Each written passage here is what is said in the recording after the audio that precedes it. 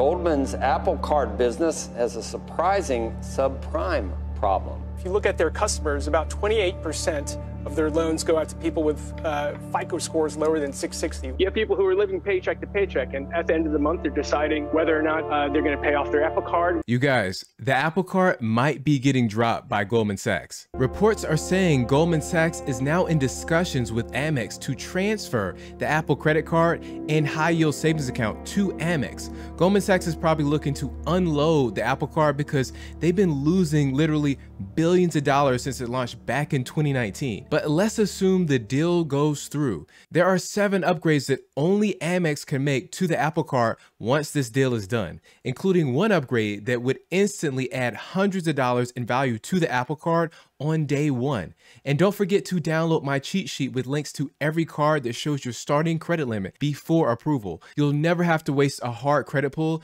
just to be smacked in the face with a low credit limit. Just hit the link below. Now, the first upgrade that Amex can make to the Apple Card is offering the Apple Card in different colors and materials. When the Apple Card first launched, there were so many reports saying that you had to take special care of the card. It was super delicate. Just take a look at this report. Apple warns you may permanently discolor your Apple Card if it's stored in leather. In leather, that's your wallet. So they don't even want you to be carrying this thing. As for how to safely store the card, Apple is advising customers to store it in some container made of soft material, but not leather, and to make sure it doesn't come into contact with any loose metal objects. Okay, so they don't want you to put it in your wallet and they don't want it next to keys. So what are they telling you? They don't want you carrying this on your person like a normal credit card. Why even give you a physical card at this point? I mean, it's basically like a paperweight. It's like a ornament, something that you put on the shelf, something you put on display. It says, but what you're mostly signing up for here is the Apple Card as a status symbol. And Apple even provided their own specifications and instructions on their website, like a how-to guide to store their super delicate credit card. Take a look at this. How to safely store and carry your titanium Apple Card. Store your titanium Apple Card in a wallet, pocket, or bag made of soft materials. So what do you mean it's supposed to be stored on its own? You're just supposed to slide this in your pocket with no other cards or keys or your phone or anything else. You can't have a Leatherman or anything. You have to put it in one velvety microfiber pocket. Who has a pocket like that? Nobody. And then they say place your card in a slot in your wallet or billfold without touching another credit card. So you got to dedicate one slot. You can't have it touching any other card. That is outrageous. If two credit cards are placed in the same slot, your card could become scratched. Once you get this in the mail, don't put it in a wallet like you normally would with a credit card. You want to go ahead and put this into a lockbox, put this in a sock drawer, keep it safe, or just put it on display on a bookshelf somewhere. That's it. So what Amex can bring to the table is all of their experience with producing metal cards, plastic cards, cards of different colorways, cards for different events. So if you look at their gold card, it comes in standard classic gold and it comes in rose gold. Even if you look at the platinum card, the platinum card comes in this standard platinum, but also these funky designs that they've added recently. I think they look terrible. You can tell, let me know in the comments if you like these designs on the platinum card.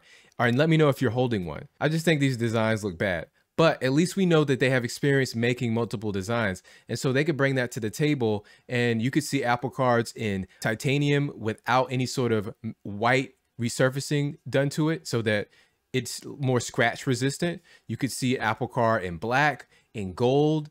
I could definitely see Amex allowing that to take place. So the Apple Card actually earns the highest rewards when you use Apple Pay. So when you use Apple Pay, you're earning 2% cash back which is nice. So you don't actually want to use the physical card because that's only earning 1% cash back. So when the Apple Card first launched, as it says here, Apple Pay is accepted in more than 1 million retail stores, restaurants, and gas stations. And by the beginning of 2019, Apple Pay was available in 65% of US retail locations. 74% of the top merchants in the United States accept Apple Pay, which is nice. I mean, in my experience, wireless payment is available in most large retailers. But the problem is it's not available everywhere and it's not that close to 100% yet. So here are just a few chains that Apple Pay is not available yet. It's going to be Walmart is one, Kroger, Home Depot, Amazon Fresh, and if you're in Texas, HEB. And that's just a short list of places that Apple Pay is still not accepted yet. But here's the thing Amex has a global network of ties and relationships that they can leverage to expedite the proliferation and the acceptance of something like Apple Pay. They have point of sale systems like you see here. You got mobile point of sale. It says right here American Express can put you in touch with providers who offer a variety of point of sale, mobile point of sale solutions to meet the unique needs of merchants. So Amex has those close connections and the ability to progress that push to get Apple Pay and wireless payments in terminals in more mom and pop shops that currently don't accept Apple Pay. And they could probably make some uh, deals with large retailers like Walmart that's going to make them happy so that you can finally go shop at Walmart, which I know many of you do, so you can finally use Apple Pay there. Next, there's a common credit card benefit that the Apple Card has really failed to implement on a large scale frequently, and that is intro bonuses and sign up bonuses. So it says here Apple Card has promotions lined up of $75 per sign up and $125 per family share offer. Apple Card is offering new users a cashback sign up bonus. Existing cardholders can also add family members as authorized users and earn $125 in daily cash. The problem is that most other cards are going to offer a sign up bonus of like $200 all the time. Like it's never ending perpetually. And Apple chooses to add these sign up bonuses kind of like on a seasonal basis. And so you can't really count on it. Another problem is that it's too low. It's only 75 bucks. It really should be raised up to 200 bucks. And the sign up bonus only goes to the person signing up, not the other person that's referring them. Usually the person that's referring a new customer and the person that gets referred both get some sort of bonus. In this respect, Apple doesn't do that. And so you can see here, this is another no annual fee card. A lot of people like is the Blue Cash Everyday card, and it earns $200 cash back when you spend $2,000 within the first six months, which is easy to hit because it's half the year. And Apple just never got to that point. They felt like they don't need to offer you that much, and I disagree flatly. I think Amex can bring their competitive nature to the Apple Card and make sure that it's more promising and more encouraging for people who actually sign up.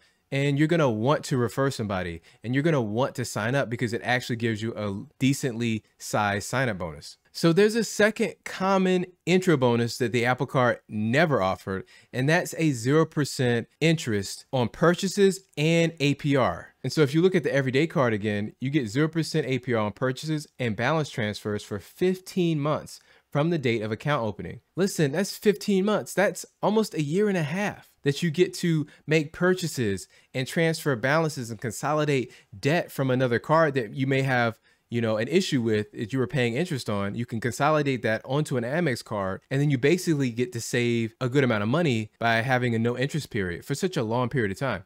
And Apple just choose flatly not to offer that. And I think Amex can bring you something to the table, maybe in the tune of six months or a year. It doesn't have to necessarily be 15 months because that's above and beyond what's standard. But I can definitely see Amex making the Apple Card more competitive and giving you some sort of 0% interest period. So the Apple Card has a bonus category problem. And that's because you're only earning that elevated 3% cash back in just about eight or nine merchants. And so if you take a look here, you're getting it at Apple, which makes complete sense. It really should be more like 5%, but we'll leave that there for now. But you're getting it at Uber Eats, Uber, Nike, Walgreens, T-Mobile, Panera Bread, Ace Hardware, and then ExxonMobil it's been this way for basically the entire time. Like I think in 2019 they came out with maybe seven or eight and they added one or two in the following year. But after that, it was nothing. There was no revamp, no refresh, no upgrades. They just kept it at the standard eight bonus merchants. Now, what I think Amex can bring to the table is a different model other than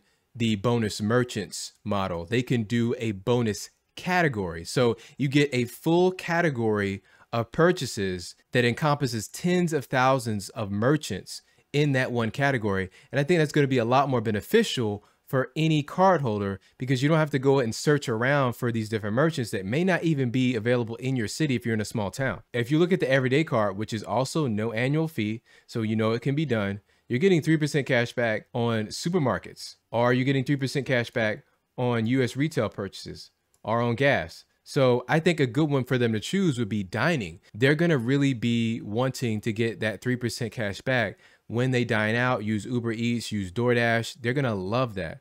And they're going to be eating out at restaurants. And just think it, would be great for travel as well because you're going to be eating at higher end restaurants. You're going to get a lot of value from that. So if they take away the bonus merchant and just add a bonus category like dining, I think it'll draw a lot more favor with people. Next, this is a feature that Apple has done a good job on, but I think they can make it even better if they switch to Amex. Now, the feature is send and receive money with Apple Cash.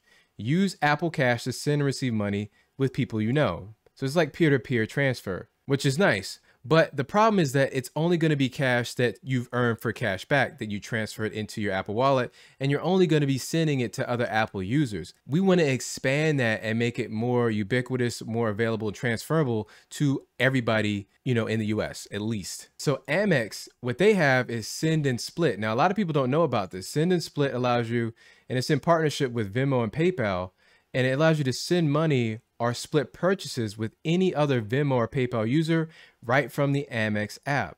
And there's no credit card fee. It says, is there a limit to how much money I can add to my Amex Send account? And so for the Platinum, it's $4,000. And for all other consumer cards, it's going to be $2,000. So the great thing about this is that you're able to use your available limit. So if you have a $10,000 limit, you can use $2,000 of that 20% to send to a friend.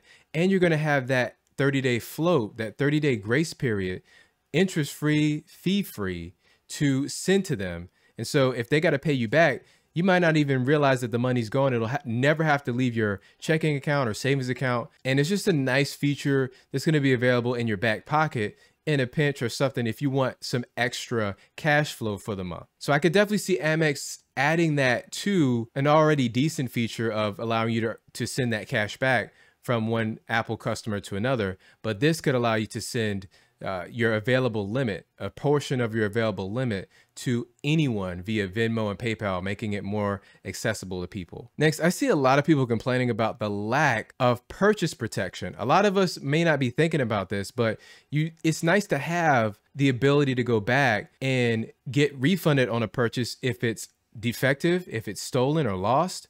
You want to have that added safety net just in case. And so it's actually a MasterCard benefit. The Apple Card doesn't have it. It has zero liability protection. It's got MasterCard identity theft protection, ShopRunner, and a few others. But it doesn't have purchase protection. But guess who does? Amex has purchase protection. So guess what? If you have an Amex card, and this is for the blue everyday card, you're getting up to 90 days from the date of the covered purchase to put that claim in for the purchase and get it refunded. You can get up to $1,000 refunded per purchase. And you can get up to $50,000 per calendar year for those purchases. So just imagine if you're able to use your Apple Card to pay for some of these purchases that you've made, maybe in store, maybe online, that you really want to have the extra protections behind. Maybe Amex can implement that on the Apple Card when this deal gets done. You know, the Apple Card is still one of the better cards for getting frequent credit limit increases. And in this next video, I'll show you step by step how one person was able to increase their limit to $40,000. Thank you for watching.